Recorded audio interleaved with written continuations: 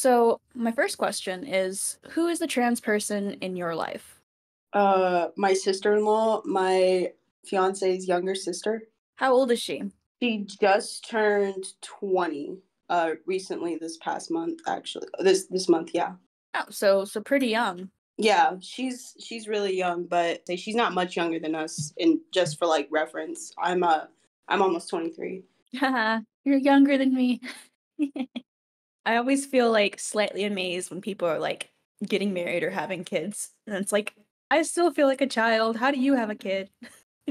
yeah it's definitely like really young but um i think for certain people depending on like if you want the same things obviously it can it can work out really well but i don't recommend that anybody just do what we did So you guys are you guys are pretty close in age, 22, almost 23 to 20.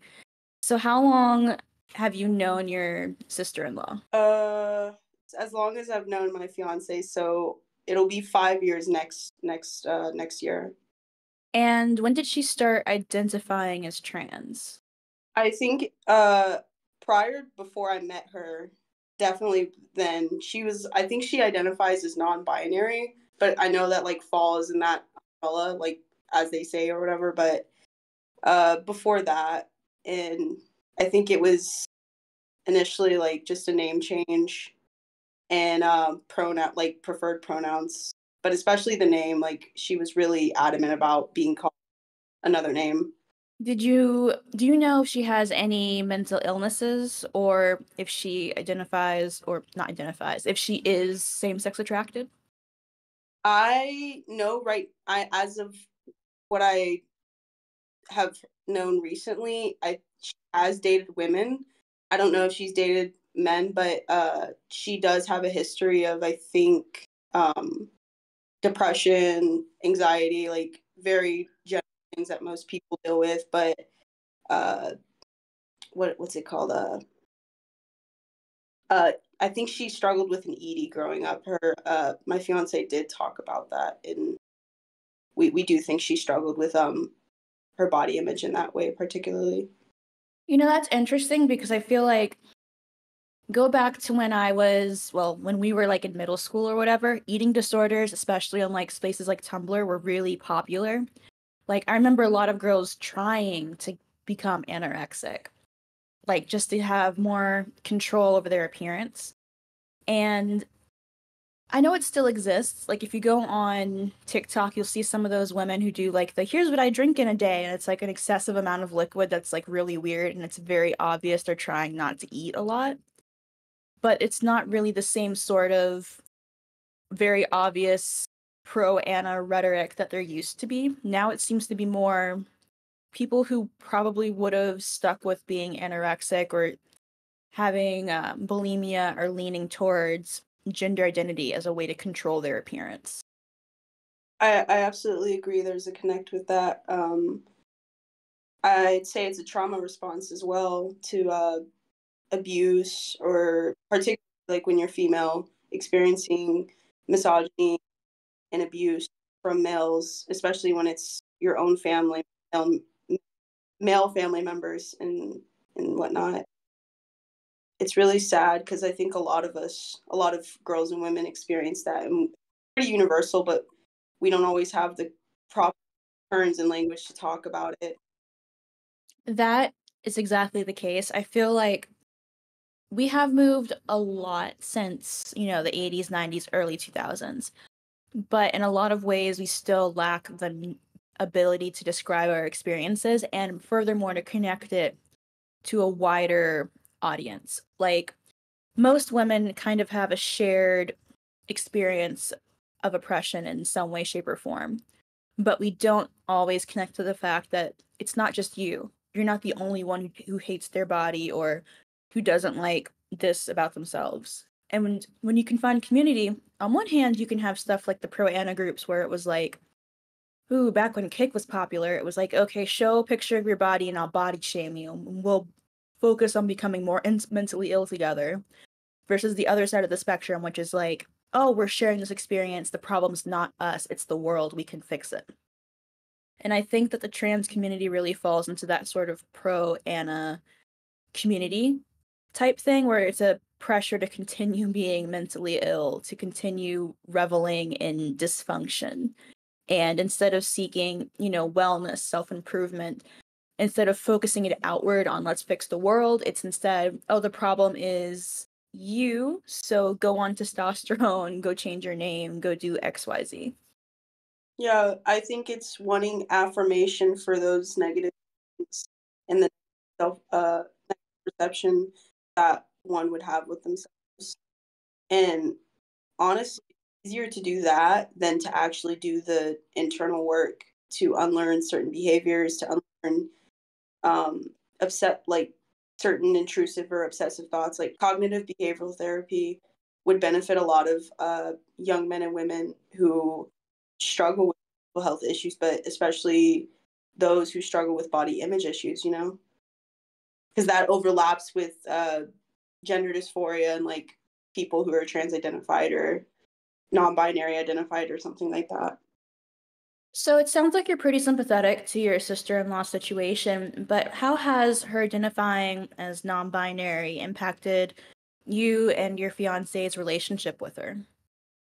Um, to be honest, it hasn't it hasn't really like we I avoid pronouns at all costs because I just feel really weird calling all they or he.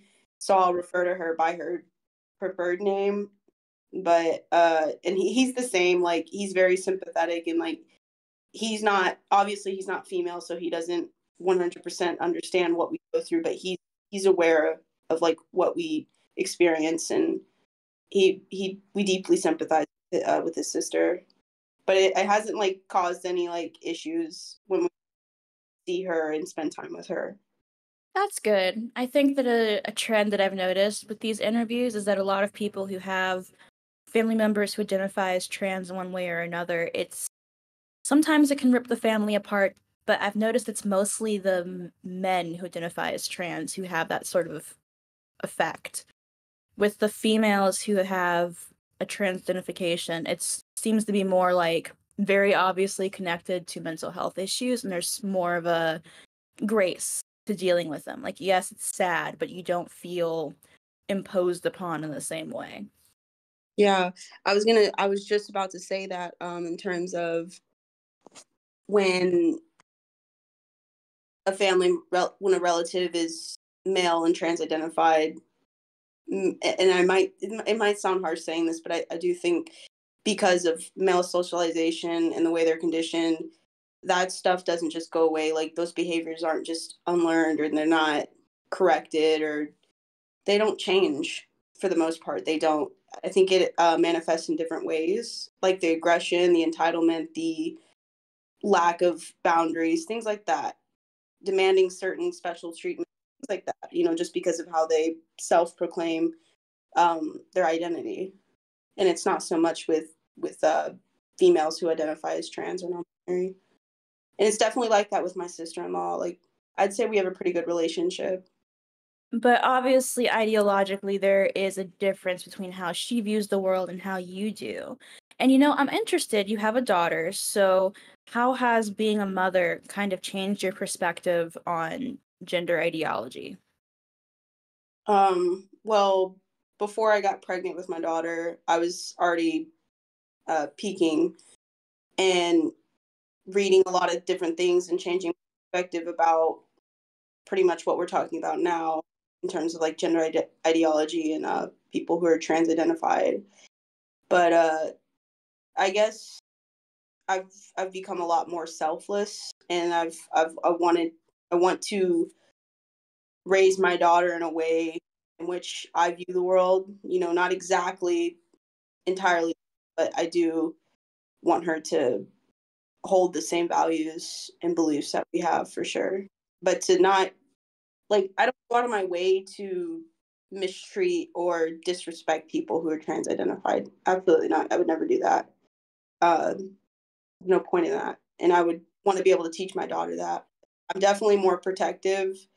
And I have nephews and a niece. So already I'm like protective of children because of that. I always have been, but so in the news headline, there's always these kind of cycles on trans kids, on trans families, and the impact that the gender ideology itself kind of has on mothers, particularly in a lot of countries, the US, Canada, UK, Australia, you'll see some hospitals and medical professionals refer to breastfeeding as chest feeding, or they'll put forward that rhetoric that men can have children too.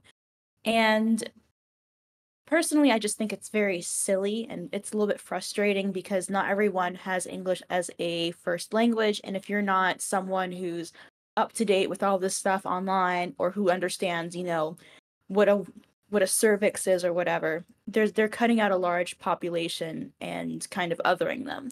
But obviously I'm not a mother and I was curious what your thoughts were on that trend of trying to be so inclusive that they kind of remove the female part from female experiences like motherhood, menstruation, menopause, all that kind of stuff. Yeah. Um if I talked about that in depth, we'd be here for hours, but to summarize it the best way I can, I think it's bullshit. I think it's very silly. I think it's very outlandish. I think it's very I'm trying to find like a word to describe it. I think it's it's disrespectful to women in general and like what we go through and these natural processes which we experience because of our sex they're just kind of like seen as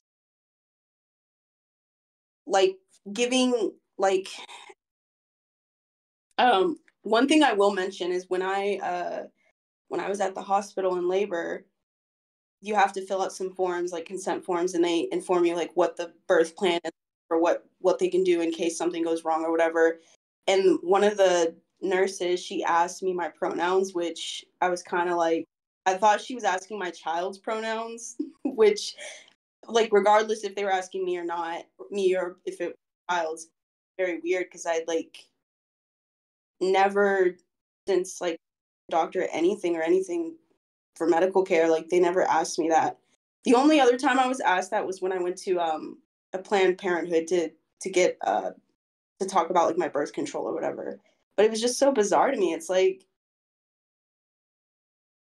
it's like yeah this this type of language isn't used towards men and people who are born male and identify women. Like they don't use this this type of language to include, you know, like it's very weird. It's very strange. And and my mom, she's a, she was a CNA for 10 plus years and she's a hospice nurse now. She thinks it's all weird and strange because she's worked in the medical field and she's fully aware of, you know, what the differences are between men and women on a very basic level. But she just thinks it's very silly, this a lot of the language distortion and the disregard for female bodily functions and issues and trying to make it inclusive for some women who feel like women or anything like that but they will go through motherhood and go through pregnancy and birth which are you know things that are exclusive to female people and yet they still want to be called fathers. Anything but moms. It's very it's very strange to me. Yeah. I've always thought that was weird because like I'm at that age where I've both worked with children for past 5 years as a nanny and as a teacher.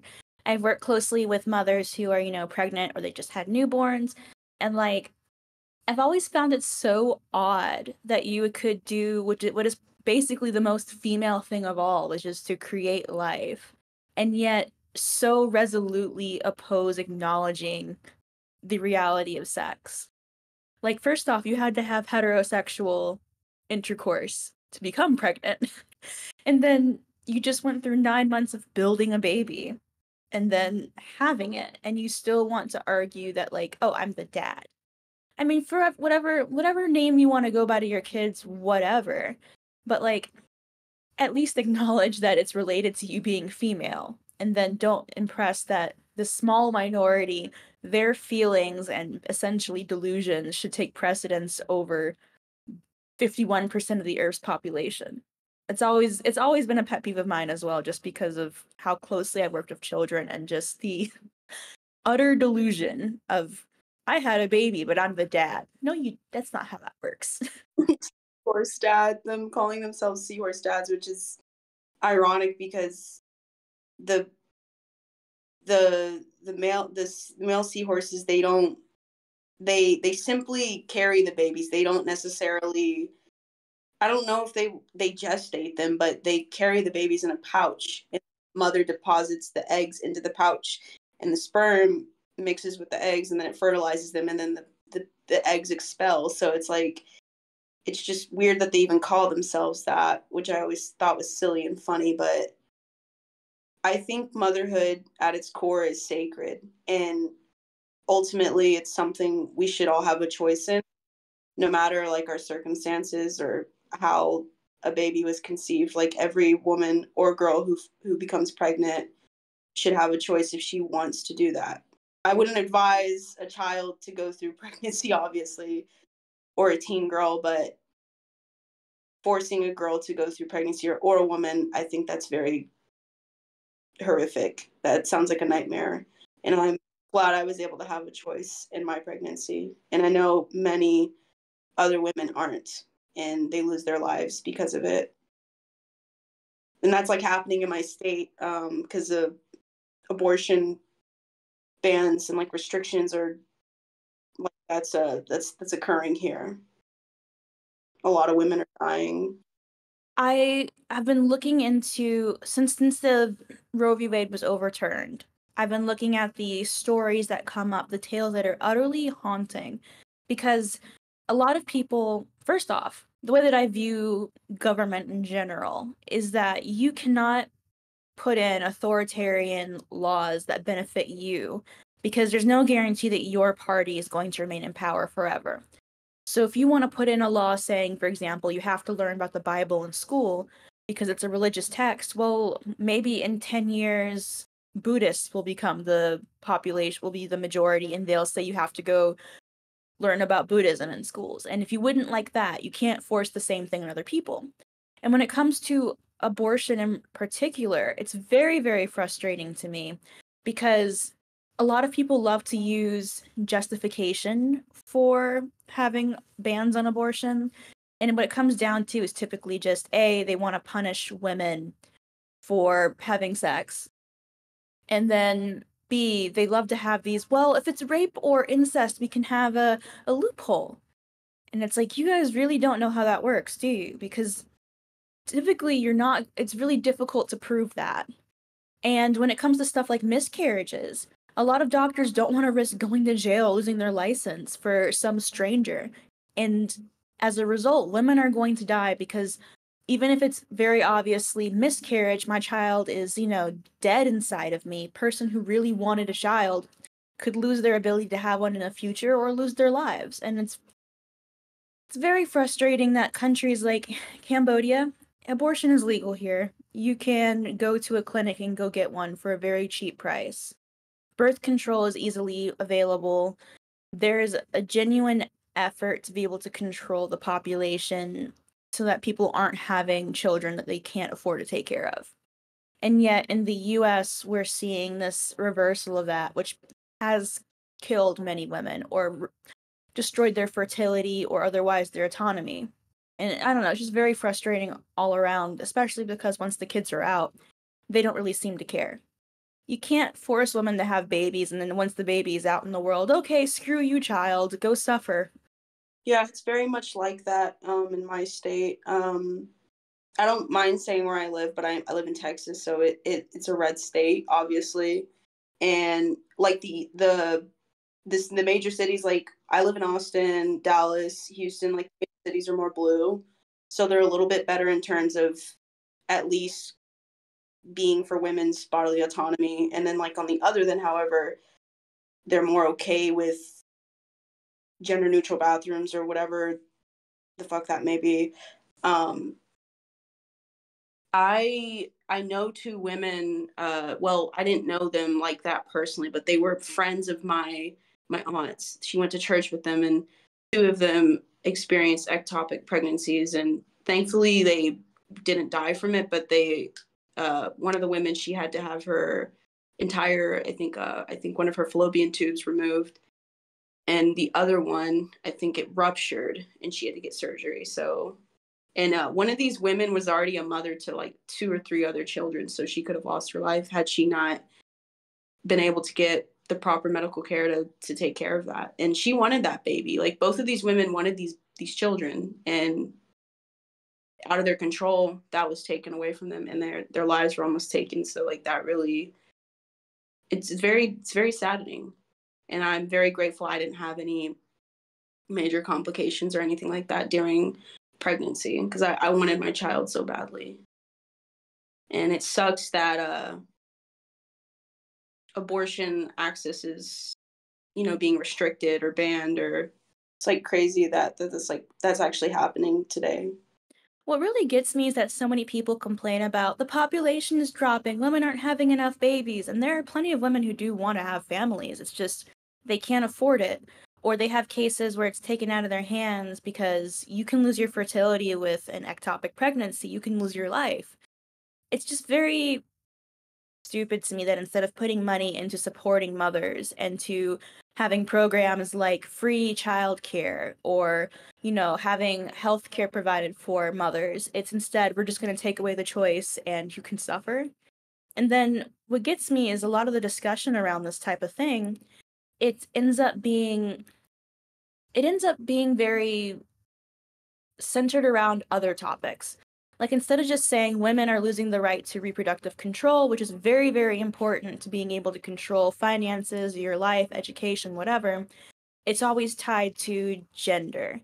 And it's never women's rights. Instead, a lot of these protests are women and other people are losing their right to abortion. No, it's it's all women. This is a women's problem. Is it not enough that it affects women? We have to also make sure it affects other people for it to be worth fighting for. Yeah. And I think a lot of the same people who parrot that talking point, they conveniently forget that so many underage females, like teen girls and girls as young as 10, 11, 12, you know, being assaulted or, you know, accidents happening with their boyfriend or being preyed on by a much older men, almost like, correct me if I'm wrong, but almost half of all teen pregnancies are uh, fathered by men who are legally adults. And that's not talked about enough because you're as a as a female, no matter what, you're going to be blamed for the actions of a male, no matter what.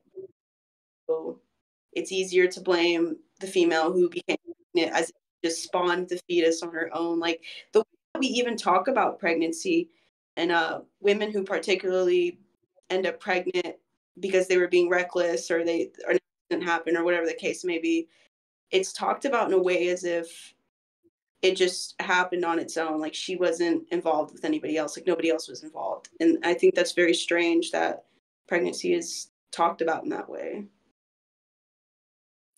Yeah especially because it's definitely an age gap issue most teen pregnancies are fathered by men who are far far older and those men are not the ones who are blamed.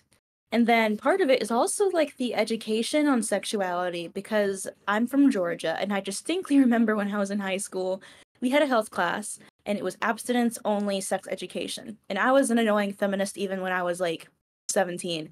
So I had like a 100% in the class and then I refused to do the abstinence only section of work and my grade my grade dropped like 20 points. But they didn't mention anything about condoms or birth control or actually how pregnancy works or changes the body. It was just if you have sex, your dick will fall off, and if you're female, you will be pregnant, and that is it. And obviously, like, if you're trying to keep something from a group, they're going to find other ways to get access to it, especially teens.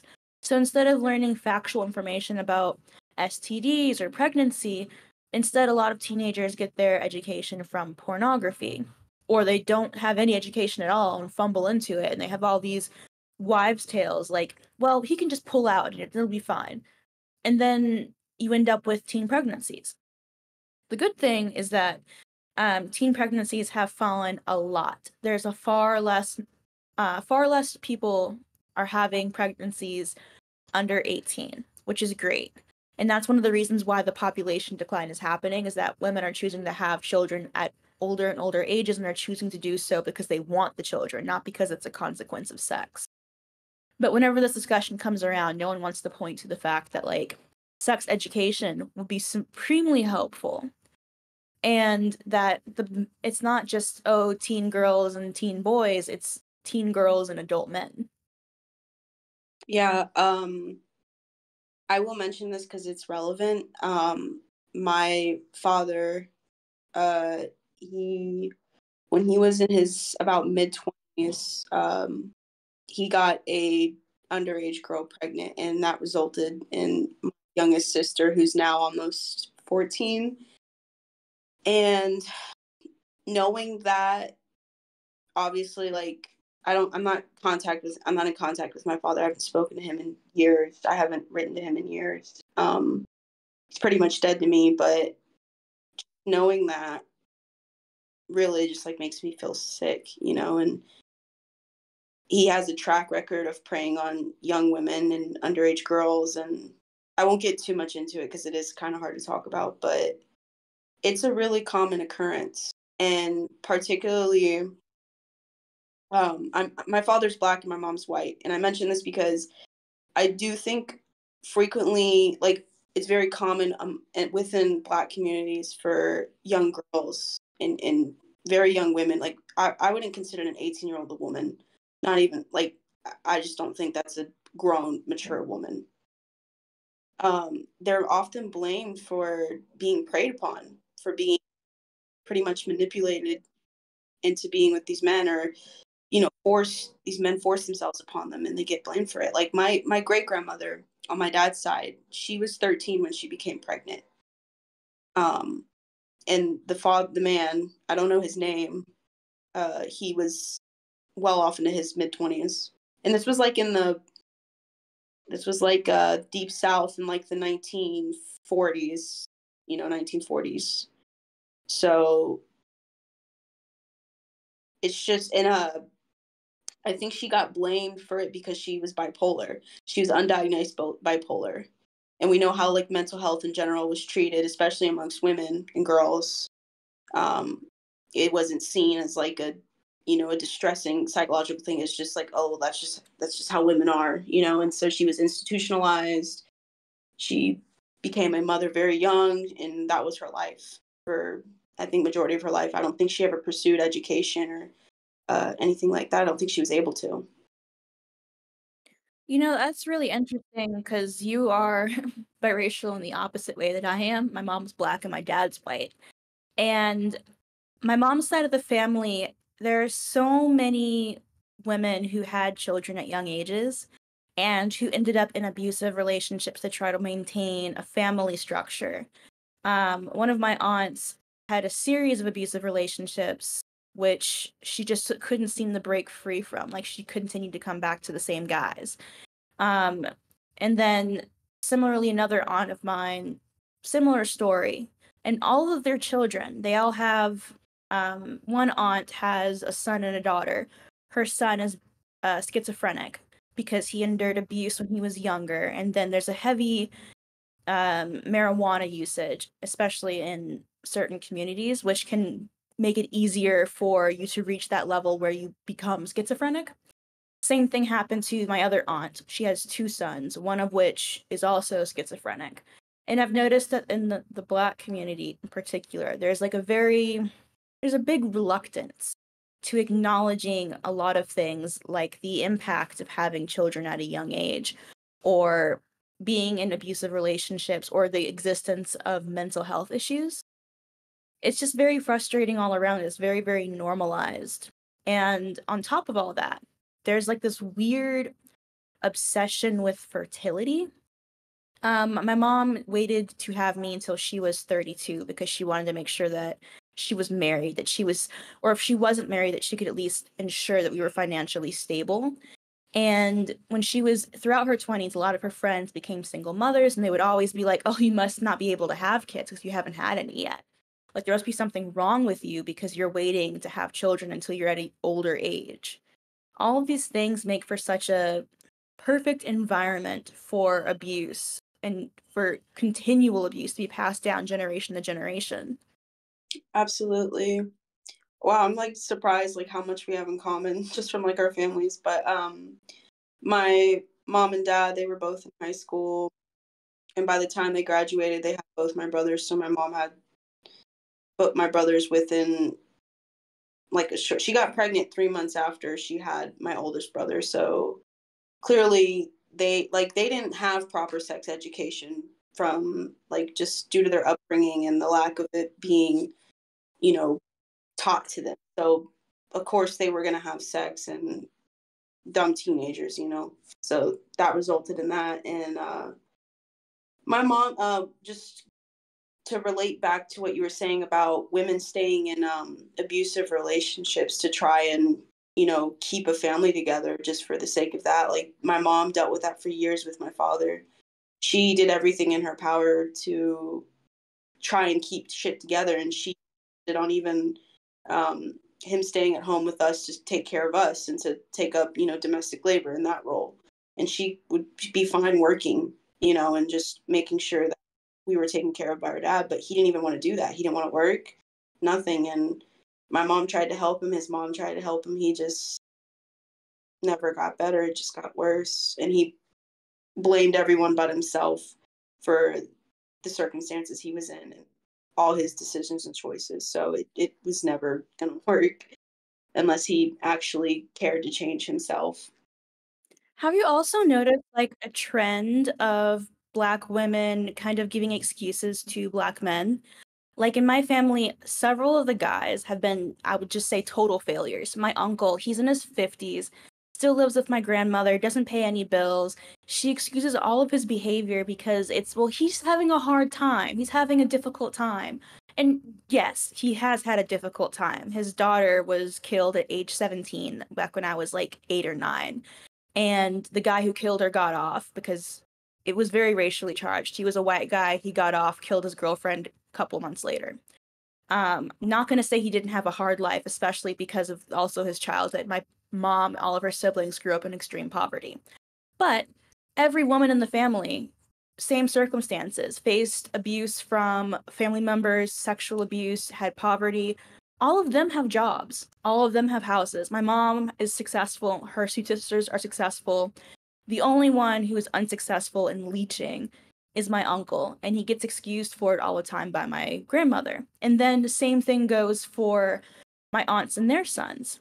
The one of my schizophrenic uh, cousins stole thirty thousand dollars from my grandmother, and they refused to report him to the police for it. The other one, he is unable to. He's basically a NEET he does have mental health issues, but he refuses to try. He doesn't take medication, won't work, won't do anything, won't even do housework. And every time you bring up, why are you letting this happen, but you refuse to support your daughters? It's, oh, well, they need extra help. They don't seem to recognize this weird double standard of like, a boy can be a complete and utter pile of shit and he will get all the help in the world. But one, if their daughters needs anything, complete silence. Yeah, um, it reminds me of that quote um, that boys are loved and girls are raised. And essentially, what that means is that basically everything you were just saying, like the infantilization of men. And as like that's how they're brought up, though, they're given more leeway, they're given more agency, they're given more autonomy, they're given more authority, basically. Um, even in some instances, when the the girl is older than the brother, the sister's older than the brother. I mean, um, even then, he he still has more privileges just because he's male, you know, and um, that's a very common within within Black communities. Even though I did primarily grow up around my white side because I lived with my white mother, so naturally I grew up more around my white family. But it's something I've observed, and I've I've talked to other people about it online um, and I'm I'm very much in in I guess like black social spaces. I, I I lurk on channels and content like that. Even though it doesn't necessarily apply to me, I'm still curious and like want to know like what black women are experiencing because it's different from what other non-black women experience. And being biracial, it gives you a very unique perspective. But yeah, like uh the my sister she has a four year old son and she does that with him unfortunately. She and he's having to learn all these behaviors now. For the past four years she's you know let him do whatever he wants give him whatever he wants whenever he throws a fit or a tantrum and it's and me and my mom have both noticed this that he does not like uh he doesn't listen to us at all me and my mother. It's specifically with us with us and we do think it's because we're women and this connects back to the fact that i think it's we think it's the men that my sister has put her son the men she's interacted with and he is emulated so it's really sad to see that my four year old nephew um, is emulating behavior that are aggressive and violent and it, it I, I don't want to say it's misogynistic because I don't think he's aware of what that is, but it's clear that he treats female authority figures different from male authority figures. Well, you know, that's the thing that really gets to me is how early the socialization sets in. And it's not necessarily something you teach. Like, I don't think most women are trying to teach their sons don't respect women, be violent, be aggressive. It's just that, for one thing, even at young ages, we can recognize the difference between male and female. And so, when you have, for example, with mothers raising their daughters, a mother can raise their daughter and be like, yes, uh, be a scientist, learn to read, be super intellectual, do all these things. But if the daughter is witnessing her mother act in a certain way, for example, doing all the housework, and doing all the cooking and cleaning, she's going to emulate the behavior, not the words that are being said. Like, sure, reading books and saying you can be anything are great things. But if parents refuse to emulate, to, to basically show the behaviors they want their kids to emulate, they're still going to pick up on that stuff. And so, like with boys, you have to be really, really careful with who you let around your male children because you might not want them to pick it up, but they're still going to see it if, you know, boyfriend is calling you rude names or raising their voice, or if, you know, the, your uncle or brother or whoever is physically abusive, they'll pick up on that. And of course, those children aren't inherent, like, I don't think anyone is inherently born bad or born predisposed to be misogynistic or racist or classist. No child is born automatically hating themselves or other people it all comes down to who you're learning from, who forms that social group that the child is raised in. Absolutely. And that's what me and my mother believe in. Um, right now, uh, my sister's not in his life. She essentially abandoned him. And my mom is in the process of trying to get conservatorship over him. So she, he at least is somewhere where he's safe and you know, around people that will protect him and like, you know, care for him like a child should. But um I'm basically no contact with my sister now. And I did make that choice because it's just too too painful to even speak to her. And I love my sister to death. Like we've been through a lot of shit together and our relationship has been extremely tumultuous and it was just recently it was just starting to get better like actually be healthy and then it just kind of fell to shit. You know, she's spiraling and um, I worry about her a lot. I really do. But I, I have to keep her distance from me and my family because she is unpredictable and um, she lies. And I just don't want that in my life around my family or in my home. You know, I really think it's important to know where to set boundaries and where to keep them. And I'm really glad that you were able to identify that and to be able to set that boundary for yourself. And I think you have a good justification for it as well. I've noticed that a lot of people our age are getting more willing to cut off people, which on one hand is good that there's a recognition of this person is not healthy, I need distance. But on the other hand, I've noticed a lot of people are unwilling to essentially put in the effort to maintain relationships. So, like, for example, um, cutting off a mother because they don't automatically support the new identity a child has, or being unwilling to just work through problems in general. Um, like I'm sure you've noticed the trend of like ghosting, not just like on dating apps, but just like friendships too.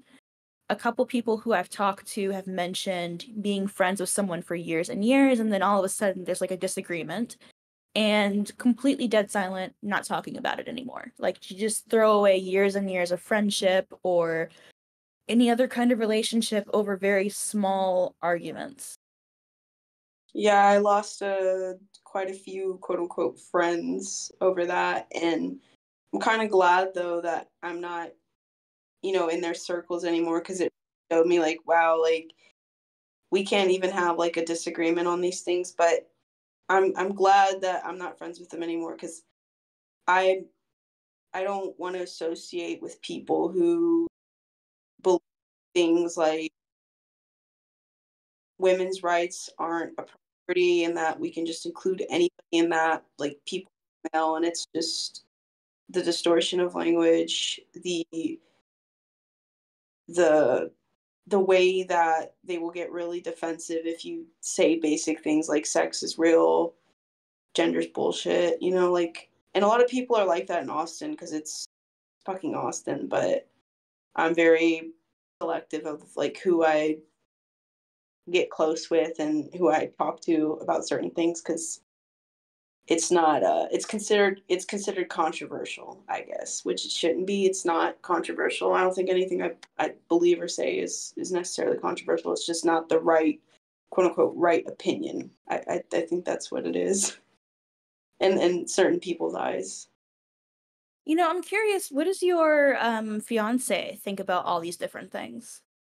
Um like what in particular well let's start with the gender stuff first, and then I'm curious what he thinks about the behavior of the black community towards women, if he has any opinion on that. Um, I'm not sure if he's too knowledgeable of that, even though I have spoken to him about it and like my experiences that I've had with some black men and how they've treated me and like my father and, and things like that. Uh, and for reference, he's white, so his perspective would be very different from mine because I'm a biracial woman. But he's very sympathetic and he's aware of domestic violence in general being an issue. But when it comes to like uh, relationships within Black communities, I think he's aware of that because I've talked to him about the mortality rate for pregnant Black women and girls and like why it's so high and they're most likely to be killed by their partners um, DV is kind of like brushed underneath the carpet, you know, within Black communities. Women are expected to just take it and forgive men, you know, things like that. I'm sure he's like aware of like the surface level things, but when it comes to like gender ideology, he he's aware of like it's it's bullshit. You know, it's uh it's not really significant at the end of the day. Like he he's aware that sex matters and that him being male grants him certain privileges. You know the way he's treated and perceived, um, given automatically more respect and people take him more seriously. Like he's very aware of these things, um, and he's uh, very very receptive to the things I talked in the. You know, as I'm very passionate and obviously us having a daughter we want to instill instill her with certain ideas and uh, have her be aware what's going on and how she potentially might be treated we're not going to like train her to like be on edge and paranoid necessarily but to just be aware have discernment you know things that i wasn't granted just due to my upbringing and the circumstances we just wanted to like do our best to prepare her but I could talk more about um, his perspective on on uh, any other topics that you're about. Well, I don't want to keep you on too too long. So I guess my last question is just do you consider him to be a feminist ally and do you think he considers himself to be one? Uh I would say from my point of view, yes. From his point of view, I would say yes, but he never necessarily proclaimed that, but he's definitely um, we we uh, we believe like the core values of of female liberation and, and radical feminism. Like we're pretty much, I'd say, on the same page, and he doesn't have an issue with it. And discussing it with me. Well, you know, that's good to hear. I do think that um some feminists are really, really hardline, I would get I would say. Like they just completely men are awful, they're all horrible, just not gonna involve them in my life. But I've always thought like for the most part, most women are going to be attracted to men because heterosexuality is the norm. Most women, a lot of women, a large proportion of women have children. So the perspectives of marriage, male partnership, motherhood, these are all things that really need to be a focus of feminism, even if I personally am not going to partake because of the fact that the majority of women will. And it's always nice to know that there are guys out there who may not be, you know, the most politically minded when it comes to feminist topics, but they care about the women in their lives, be it their wives, girlfriends, daughters, mothers, etc. And I think that's a good starting point for making change that goes beyond the little internet sphere of weird feminists talking on Discord. yeah, again, like uh, he's pretty close with his. He's very close with his mother and sister, and I see the way that he treats and inter- and that that makes me very happy because it's like that's reflection of him and the way he treats me and our daughter. Like it's very reassuring. Like I feel very safe with him in pretty much every aspect and I could go to him for anything and talk his head off. But um yeah, he's I'd say he's he's uh an exception to the what what the standard of like a man is and like what we're expected to just uh like if you're a straight woman, I guess yeah, what we're expected to just not have too much of a high standards, but I think we need to have extremely high standards if you want to have children or cohabit with a man in a relationship with a man. Like we need high standard. Um, yeah.